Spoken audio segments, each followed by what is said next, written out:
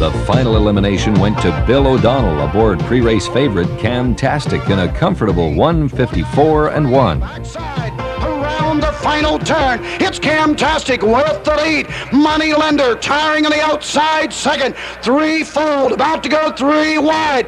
Eighth of a mile to go. Camtastic spurts to a lead of a length and a half. Money Lender fighting to hang on. Three fold on the outside. Fast close by Bro Global and IRA.